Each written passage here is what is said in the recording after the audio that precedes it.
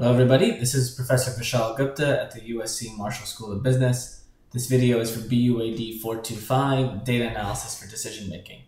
So this is the last in a series of videos I'm going to make talking about the Trojan Horse lab and case. And in this video, I'm going to show you how to use logistic regression to fit a model for the Trojan Horse data.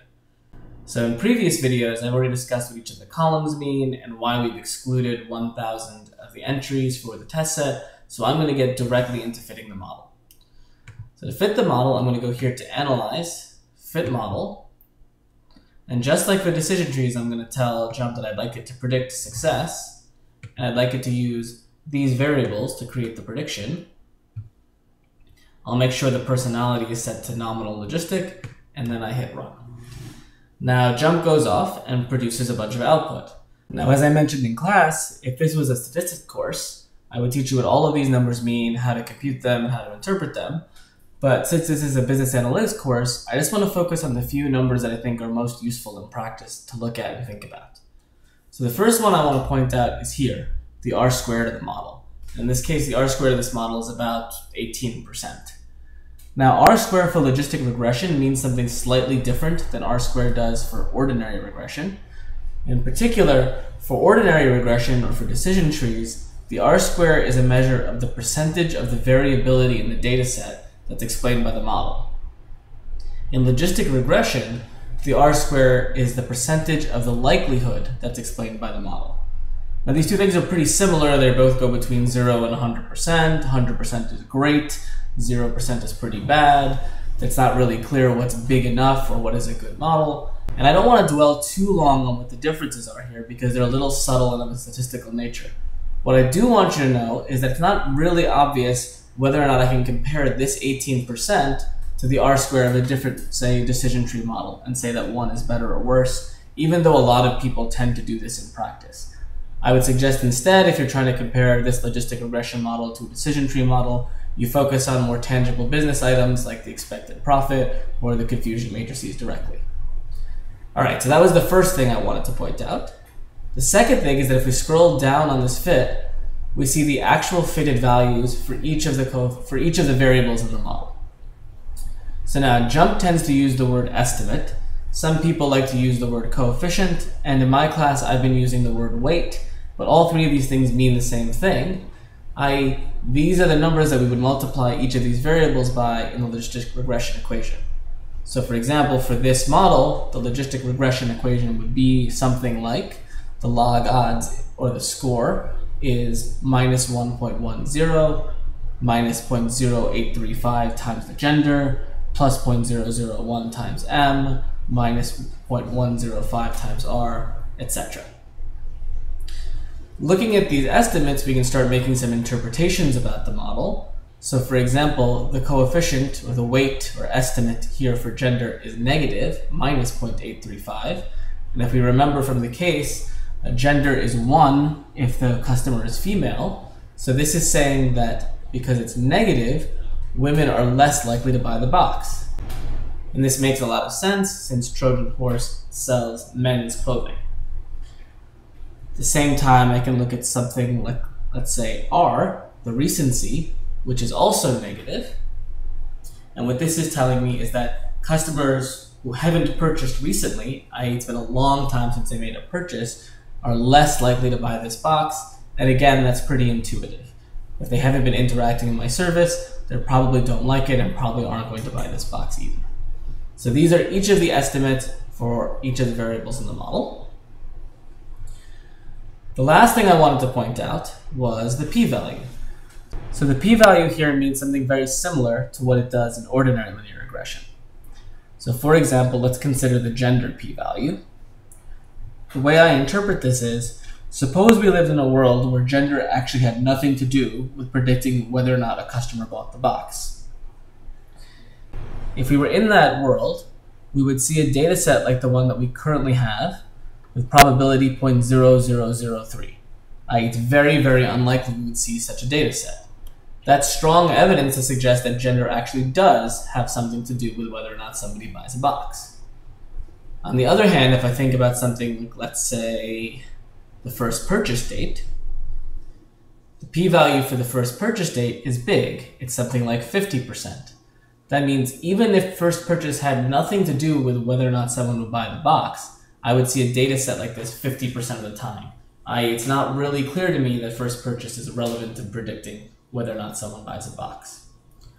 So these are the three things I wanted to point out. Again, the R square, the estimates for each of the variables, and the corresponding logistic regression equation, and the p-values. At this point, you can ask, well, is this a good model? And one criticism that you could make is that this model includes a lot of variables in it, so it's pretty complicated. There's something like 16 variables. And a lot of those variables, it's not even clear that they have anything to do with predicting whether or not someone buys a box. So for example, M has a very large p-value, first purchase has a very large p-value, etc. So a better model might be one that includes fewer variables, all of which are sort of have good strong statistical evidence that they help predict whether or not someone buys a box. How could we build such a model? Well, one idea would be let me go rebuild the same logistic regression equation model, but let's say throw out the value of casual, so I don't include casual when I specify the variables, since it's unlikely that casual has anything to do with predicting a box, recompute all the estimates and all the new p-values, and then pick another variable to throw out and keep on throwing out variables until I get only variables that have significant p-values. But that feels really manual and difficult. Thankfully, JMP automates that process for you. So let me show you how to do that in JMP. I'm again going to go to Analyze, Fit Model. I'm going to specify, just like I did before, that I'd like to predict success, I'd like to use all of these variables to do so. But now I'm going to change the personality from nominal logistic to stepwise. I hit Run, and JMP produces this window. So let's talk a little bit about this window. So, so far, JMP is saying, let's consider logistic regression with no variables in it. You can see none of the variables are checked. They all have estimates of zero. If I were to hit go, JMP is going to proceed in the forward direction, i.e. it's going to start adding variables one by one. And each time it's going to add a variable that it thinks is most likely to be helpful in predicting whether or not a customer buys the box. And it's going to only add those variables that are significant in a statistical sense. So if I hit go, JMP goes through and decides that if I wanted to use the smallest number of variables to predict who is going to buy a box, I should use six variables, and they should be the gender, the recency, the hipster, the classic gentleman, and the rugged. Now you can ask, how did JMP decide this? And there's some mathematics about this involving something called the Bayesian information criterion, we're not going to get into the details of this in this class. If you'd like to know about it, come find me in office hours and I'll be happy to explain it to you. What I do want you to know is that this is a proposal from JMP. JMP thinks that these six variables are best, but JMP doesn't know anything about the business. So you might look at this and knowing something about the business say, hey, JMP didn't include, for example, the monetary money spent, and that's actually very relevant to the business, so I would like to force it to use this and you can do so. And you can force JMP to add this variable to the model. Or you might say, I don't think gender should have anything to do with whether someone buys a box, and you can force JMP to remove gender from the model by clicking on it. Generally speaking, if you're disagreeing with JMP's recommendations, you should have a really good reason to. And in this particular case, I don't have a really great reason to disagree with what JMP proposes, so I'm going to accept its proposal by clicking Make Model. And now you see JMP brings up the same logistic regression window we used to have, predicting success, but only includes the six variables that it decided were important. I'm going to hit run. JMP produces this window, and this window looks exactly like the nominal logistic window that I had before. But you can see, whereas this one had these 16 variables towards the bottom, now I only have six variables with their corresponding estimates. And if I look at the p-values for my six variables, I can see that they're all very small. Now, one last thing I will mention. As you write, remember from 310, any regression that has more variables is going to have a higher R squared. So in this case, there are 16 variables on this side, and the r squared is something like 18%, whereas here there's only five variables, and the r squared is about 16%. So the question isn't about which model has a higher R squared, since the more variables will always have a higher R squared, but it's whether the increase in the R squared is worth the extra complexity of having more variables. So in this case, we went from having something like 16 variables to having something like six variables. That's almost a third, uh, sorry, almost two thirds fewer variables. And we're only giving up maybe a percentage and a half in R squared. To me, that seems like a great trade-off. So I would prefer the smaller, simpler model. All right, as the last thing I want to do, I want to show how we can save this down and make some predictions about our model. Because remember, all of this was so far built with the training set, and I want to do some predictions with the test set. To do that, I'm going to click the right arrow here, next to the model that I wanted to save down, and go to Save Probability Formula. Once I do that, I can check on my JMP spreadsheet and see that it's added several columns. What do these columns mean? Well, this first one, Lin1, is what we've been calling the score in class.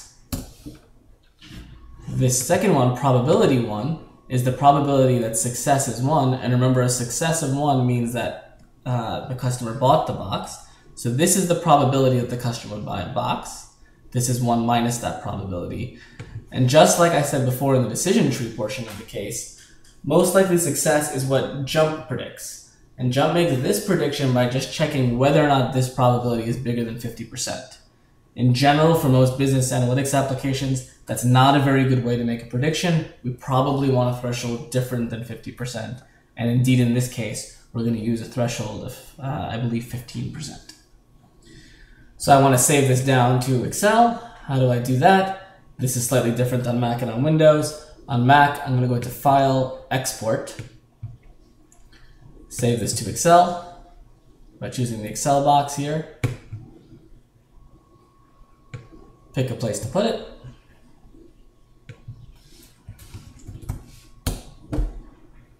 And if I was using Windows, I would go to File, Save As. And under here in the Save As menu, you'd be able to change the file type from JMP to Excel workbook. All right, now I can fire up Excel.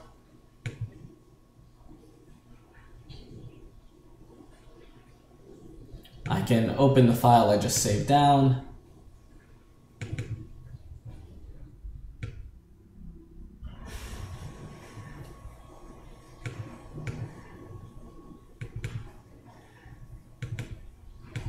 And you'll see that I have my original data set all the way across, plus the few extra columns that were labeled here.